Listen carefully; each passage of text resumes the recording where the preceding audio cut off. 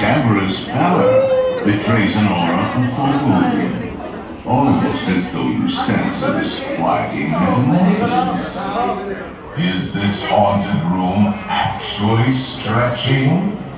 Or is it your imagination? Hmm? And consider this dismaying observation.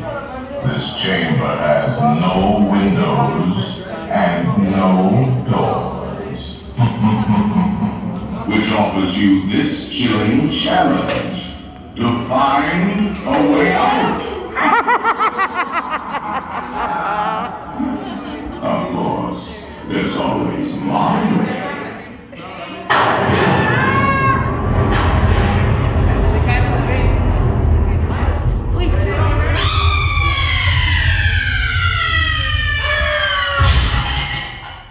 Oh, I didn't mean to, frighten you prematurely.